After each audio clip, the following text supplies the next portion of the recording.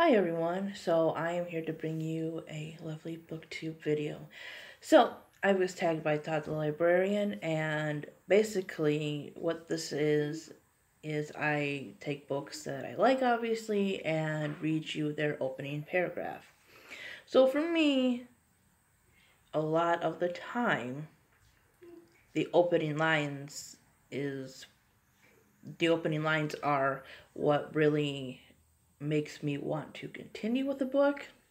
That opening line can really give you a sense of the writing style, the voice of the character, um, you know, whether it's between first or um, third person narrative. And you might get a sense of maybe the age it's aimed at or just how the overall feeling of the book is going to go. Now, there were plenty of books that I. The beginning was okay, but I continued on with the book because it was still good, but then there are ones that really seem interesting. And there could be a lot on this list.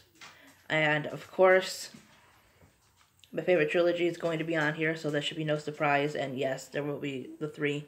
Unfortunately, I'm not going to be doing them in order because they're not in order in the pile here, so we're just going to go with it. So some of them I have physically here, and some of them I will be reading offline. So here goes. I will start with the first one. Mr. and Mrs. Dursley of number 4 Privet, Privet Drive. We're proud to say that they were perfectly normal, thank you very much. They were the last people you'd expect to be involved in anything strange or mysterious, because they just did not hold with such nonsense. Mr. Dursley was the director of a firm called Grunnings, which made drills. He was a big, beefy man with hardly any neck. Although he did have a very large mustache, Mrs. Dursley was a thin was thin and blonde and had nearly twice the usual amount of neck, which came in very useful as she spent much of her time craning over garden fences, spying on the neighbors. The Dursleys had a small son called Dudley, and in their opinion he was and in their opinion there was no finer boy anywhere. So that is from Harry Potter and the Sorcerer's Stone, which is the first book in the Harry Potter series. And uh, you know, for those of you who have watched and have watched the movies and read the books, I almost forgot that his aunt was blonde because she's not in the movies. So, I think I'm going to go back and forth between the online and my physical books here, or I'm just going to do whatever the hell I want. So, on to the next book, now that we've read the greatness that is Harry Potter. The screw, the screw through Cinder's ankle had rusted, the engraved cross marks worn to a mangled circle. Her knuckles ached from forcing the screwdriver into the joint as she struggled to loosen the screw, one grating twist after another. By the time it was extracted far enough for her to wrench free with her prosthetic steel hand, the hairline thread had been stripped clean. Tossing the screwdriver onto the table, Cinder gripped, Cinder gripped her heel and yanked the foot from its socket. A spark singed from her fingertips and she jerked away, leaving the foot to dangle from a tangle of red and yellow wires.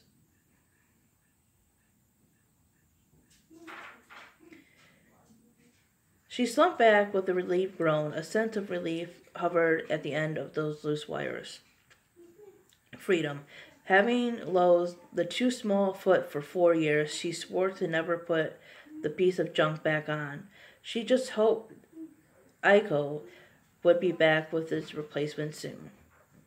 Okay, so that one's a little bit more than a paragraph, but um, Cinder is fantastic, and it is Cinder by Marissa Meyer, which is the first in the Lunar Chronicles.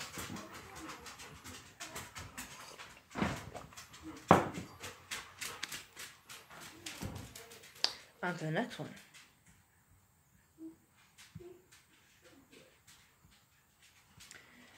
Okay. I'm going to have to give an adjustment here for a second. Because I did not put this down far enough. There we go. Right. The monster showed up just after midnight, as they do. Connor was awake when it came. He had a nightmare. Well, not a nightmare, but nightmare. The one he had been having a lot lately, the one with the darkness and the wind and the screaming. The one with the hand slipping from his grasp, no matter how hard he tried to hold. The one that ended with, Go away, Connor whispered into the darkness of his bedroom, trying to push the nightmare back. Not let it follow him into the world of the waking. Go away now. So that is A Monster Calls, which I read in my nook. I want to get uh, the actual physical copy with the pictures and everything because um, that one was a really good one. It's more middle grade ish, but still a really good book. And just that whole um, beginning, I love that. The monster came at midnight, as they do. It was such, oh god, so heartbreaking. Now, I shall read you a little bit more classic dystopian here. It was a bright, cold day in April, and the clocks were striking thirteen. Winston Smith, his chin nuzzled into his breast in an effort to escape the vile wind, slipped quickly through the glass door of the Victory Mansions, though not quickly enough to prevent a swirl of gritty dust from entering along with him. The hallway smelled of boiled cabbage and old rag mats. At the end of it, a colored poster too large for an indoor display had been tacked to the wall. It depicted simply an enormous face, more than a meter wide, the face of a man about 45, with heavy with a heavy black mustache and ruggedly handsome features. Winston made for the stairs. It was no use trying the lift. Even in the best of times, it was seldom working, and at the present, electric current was off, was cut off during daylight hours. It was part of the economy drive in preparation for the hate week for hate week. So it goes on a little bit more, but this is very small print. But I was definitely enjoying this book. Like I said, I want to uh, read as much dystopian as I can this year, and we will see if I can start doing recommendation videos because I want to do them for different genres, fantasy, etc. But that is Orwell's 1984. So, on to the next one. It was almost December, and Jonas was beginning to, was beginning to be frightened. No, wrong word, Jonas thought. Frightened meant that deep, sickening feeling of something terrible about to happen. Frightened was the way he had felt years ago when an unidentified aircraft had flown over the community. He had seen it both times, squinting towards the sky. He had seen the sleek jet almost blur almost a blur as its high speed go past. A second later, heard and a second later heard the blast of sound that followed. Then one more time, a moment later, from the opposite direction, the same plane. At first, he had been fascinated. He had only been fascinated. He had never seen an aircraft so close, for it was against the rules for pilots to fly over the community. So that is the opening to The Giver by Lois Lowry, which again is considered another dystopian, but it's more middle grade. But it is a fantastic book for something so short. Uh, one of my absolute favorites. Now to read my favorite series out of order. Why? Because I just do stuff like that. I stare down at my shoes, watching as a fine layer of ash settles on the worn leather. This is where the bed I shared with my sister Prim stood. Over there was the kitchen table, the bricks of the chimney, which collapsed in, in a charred heap. Provide a point of reference of reference for the rest of the house. How else could I orient myself in the sea of gray? Almost nothing remains of District 12. A month ago, the Capitol's fire bombs obliterated the poor, the poor coal miners' house in the seam, houses in the seam, the shops in the town, even the Justice Building. The only area that escaped incineration was the Victor's Village. I don't know why exactly. Perhaps so anyone forced to come here on Capitol business would have somewhere decent to stay. And that is Mockingjay. Then comes my favorite of all. When I wake up, the other side of the bed is cold. My fingers stretch out, seeking Prim's warmth, but finding only the rough canvas cover of the mattress. She must have had bad dreams and climbed in bed with her mother. Of course she did. This is the day of the reaping. I prop myself up on one elbow. There's enough light in the bedroom to see them. My little sister Prim, curled up on her side, cocooned in my mother's body.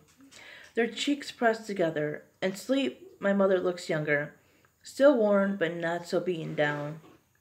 Prim's face is fresh as a raindrop, as lovely as the primrose for which she was named.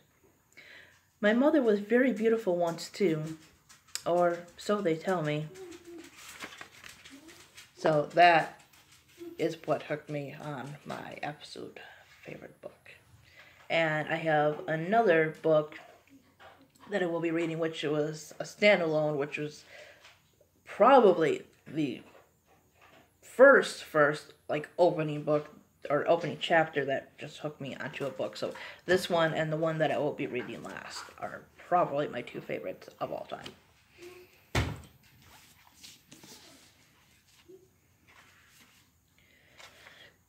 And this is the second book in the series. I clasp I clasp the fa- the flask. Oh my god, I can't read. Between my hands, even though the warmth from the tea has long since leached into the into the frozen air. My muscles are clenched tight against the cold. If a pack of wild dogs were to appear at this moment, the odds of scaling a tree before they attacked are not in my favor. I should get up, move around, and work the stiffness from my limbs, but instead I sit mo- I sit motionless as the rock beneath me while the dawn begins to lighten the woods. I can't fight the sun.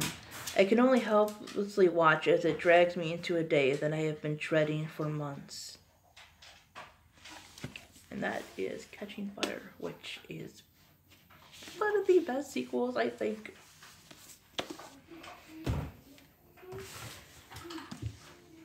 And I was gonna go back and forth, but because those that is a series, I just read those, you know, together. So on to the last book, and then there's going to be the last one on here because I couldn't find my copy. Merrick, no. The best day of my life happened when I was five yeah, the best day of my life happened when I was five and almost died at Disney World. I'm 16 now, so you can imagine that's left me with quite a few days of major suckage.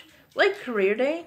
Really? Do we need to devote an entire six hours of high school, of the high school year to having life counselors tell you all the jobs you could potentially blow at?